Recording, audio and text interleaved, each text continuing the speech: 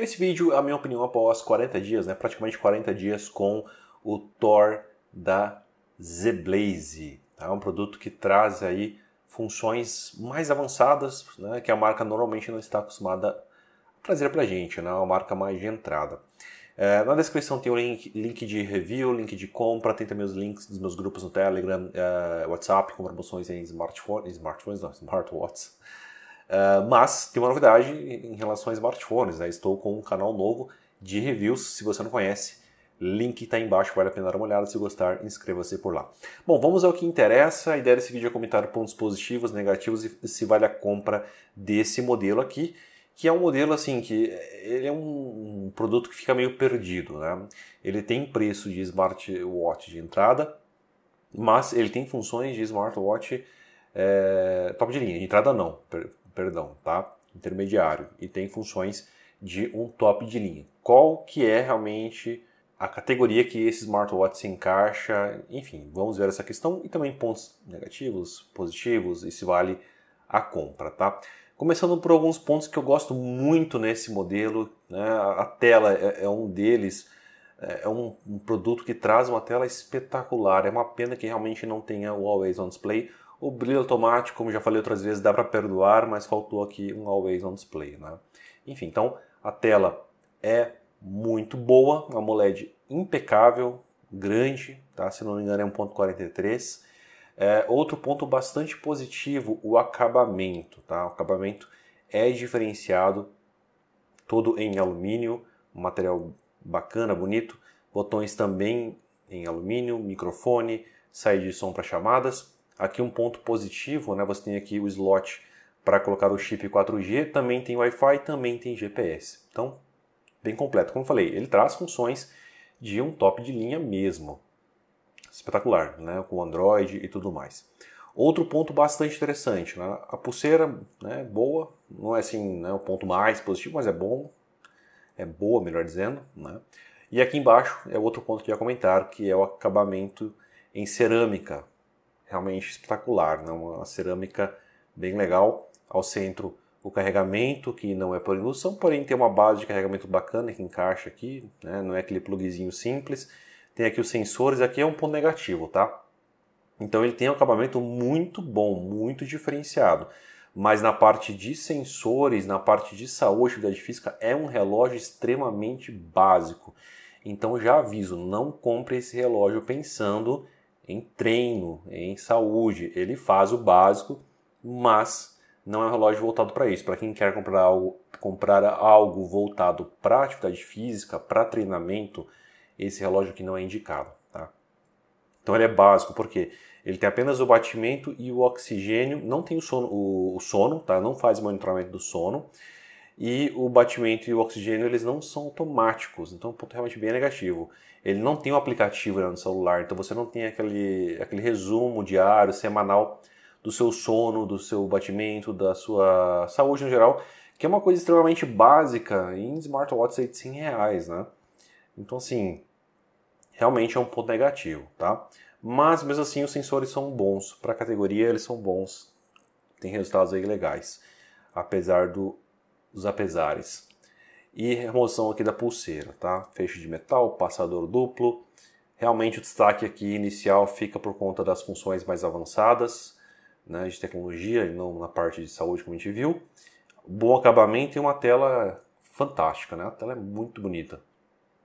Com o smartwatch no pulso, aqui eu quero deixar claro a categoria dele. Realmente ele é um produto de nicho intermediário, falando em termos de usabilidade, né, de ergonomia, de conforto. Em termos de funções é outra história, a gente já chega lá. Mas a questão realmente de uso, ele é como se fosse um intermediário. Tá? Eu posso comparar ele a um conforto aí de um produto aí como um GTR Mini, um GTS 4 Mini, produtos é, né, um meio termo aí. Ele não chega no nível de um GTR 3, um GTR 4, um Galaxy Watch 4, Galaxy Watch 5 realmente ele fica abaixo. E isso né, não quer dizer que ele é ruim, ao contrário, né, como falei, ele está no nível de produtos bacanas também. Então, em termos de ergonomia, vamos colocar ele como intermediário. Encaixa bem no pulso, um bom conforto. A caixa não é tão alta, normalmente esses relógios com Android têm uma caixa muito alta, um relógio exagerado. Aqui é na medida. Poderia ser um pouco menor, um pouco mais, mais fino, né? mas tá ok. E a tela, como eu já comentei, que é um espetáculo. Aqui sim, a tela se aproxima muito de um top de linha. É muito boa. Muito boa mesmo, muito nítida, tem uma resolução boa. Realmente agrada bastante para quem gosta de um bom AMOLED. Aqui você está bem servido, né? Bem interessante mesmo. Entrando em mais um ponto muito positivo desse modelo, no caso é o sistema. Então você tem aqui o Android, não é o Wear OS, tá? é o Android celular mesmo, mais adaptado para o relógio, que nesse caso aqui funcionou muito bem. Você tem aqui né, as watch faces de acesso bem rápido, uh, você tem lojas de, de, de watch faces com excelentes opções, então você baixa tudo pelo relógio mesmo, muito bom. Rasta para o lado tem aqui o player de música, ele tem 16 GB de memória interna para músicas e apps. Para cima ó, não tem nenhuma função. Dependendo da watch face você tem algumas interações. Não, não sei se eu acho alguma agora que tem interação. Tem, uma, tem algumas aqui que você consegue arrastar para cima e ele muda a watch face, que é, que é bem interessante. Ah, essa daqui muda, tá? Então, legal, né? É, Para o lado você tem aqui o resumo diário, como eu falei, ele não vai ter o app mostrando as, o resumo diário, que é um ponto bem negativo, ao meu ver, mas ele tem então é, esse resumo aqui que funciona bem, tá? O batimento, o oxigênio ele não tem para cá, aí você tem que abrir o app lá no menu principal. Para baixo, aqui você identifica que ele realmente usa Android. Ó. Você vai ter as notificações aqui. E arrastando um pouco mais, tem ali o brilho, que não é automático, mas funciona bem, é porque tem um atalho rápido. E é bem forte, ó, com o brilho no máximo fica bem estourado para vocês. Dá para usar aqui um pouco acima do, do médio, é um brilho bem forte mesmo. Wi-Fi, bateria, Bluetooth, modo avião, não perturbe. NFC ele não tem. Localização GPS, o volume, aqui uh, ah, para você mudar o formato da tela. No review mostrei essa questão, que é bem legal. botão de baixo ele bloqueia a tela, porém tem atalhos. Apertou duas vezes, ó, ele mostra os apps que você está usando no momento. Se você segurar apertado, ele mostra o, a barrinha ali para aumentar de volume, que é uma coisa que eu gostei muito, tá?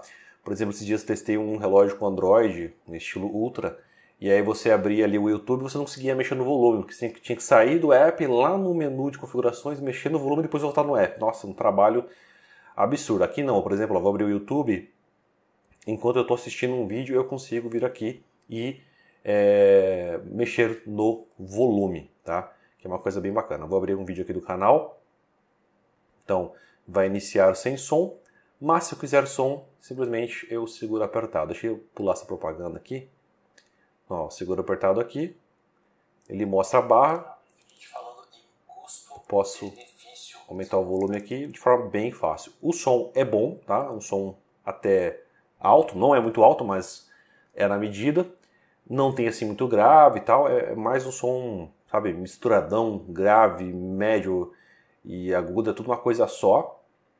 Mas tem uma qualidade razoável, dá assim para assistir um vídeo, dá assim para escutar um áudio do WhatsApp que é outro ponto positivo. Então você pode baixar o WhatsApp, você pode baixar o Spotify e usar ele como realmente um smartwatch.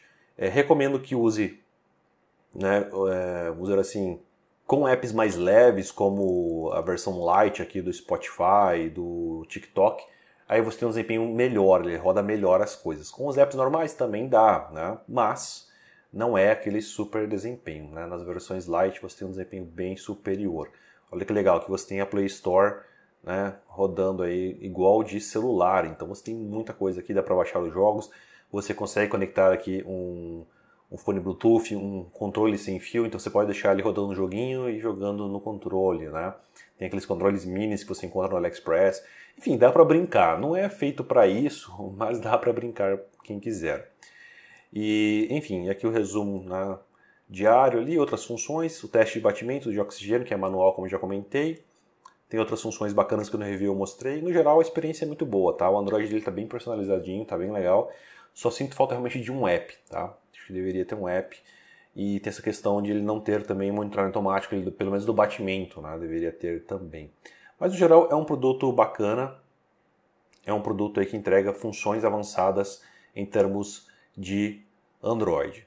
Já na questão de bateria e certificação, a gente está falando aqui de uma certifica67 mais básica, IP67, né? não recomendo nadar, entrar na água, apenas se molhar, pegar uma chuva, esse tipo de coisa. Bateria, é um dia de uso se for no Wi-Fi, tá? se for com chip, vai durar bem menos, mas recomendo que utilize, utilize com Wi-Fi para ter um desempenho realmente bom de bateria. É um dia de bateria que é igual a outros tops de linha, né? Então, nesse sentido, ele é realmente muito parecido, parecido com o top de linha. Apple Watch, Galaxy, que é um dia de bateria, ou um dia e meio no máximo. Então, realmente, nesse sentido, ele lembra um top. Então, como deu para ver, depende muito do ponto de vista, depende muito da situação. Em alguns momentos, ele lembra um top de linha, em alguns momentos, ele lembra um intermediário. Então, ele fica naquele meio do caminho, sabe? Então, realmente, eu colocaria ele entre um intermediário e um top de linha. É mais ou menos por aí. É um produto que falta algumas funções e tal, mas pelo preço é isso. Se ele tivesse todas essas outras funções, perdão, provavelmente ele custaria bem mais. Aí entra a questão de valer a pena ou não. O problema dele é o preço, né? Se não fosse a taxa absurda do AliExpress, ele custaria na casa de 500 reais e aí valeria muito a pena, né? Porque normalmente em smartwatches você acaba não sendo taxado uh, e quando é, é uma taxa tranquila, pelo menos era assim. Né? Eu importei aí dezenas e dezenas de smartwatches desde 2019 e fui taxado só em três smartwatches. Tá? Lógico, eu importava um por vez, não era para revender, era para uso, testes e tal. Talvez para quem importe aí né, um pacotes pacotes para revender é outra história. Mas no meu caso era bem tranquilo. Provavelmente eu importaria isso por 500 reais e não seria taxado se eu fosse comprar hoje, por exemplo, né? se alguém quisesse comprar também. Mas isso já não acontece mais, pelo menos por enquanto. E aí você tem que pagar a taxa do AliExpress, e aí ele fica custando mil reais.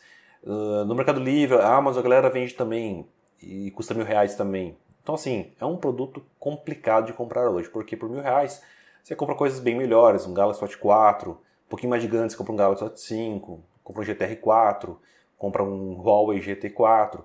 Beleza, GTR 4 e Huawei GT4 não são top de linha, mas são produtos muito próximos de um top de linha e assim são muito melhores acabados do que esse relógio, são muito melhores construídos. E isso que esse relógio já é bacana, né? Então, realmente, a experiência lá é muito superior. Então, assim, é um produto complicado de comprar hoje por causa do preço. Se ele custasse 500 reais, redondinho, sim, valeria bastante a pena, porque você está pagando aí preço de quase um top de linha por né, produtos aí que custam nessa faixa de preço, mas são intermediários. É isso. Na descrição tem o link de review dele, link de compra. Dá uma olhada no meu canal. Se você gostar dele, se inscreva por lá. Fico por aqui e até o próximo vídeo.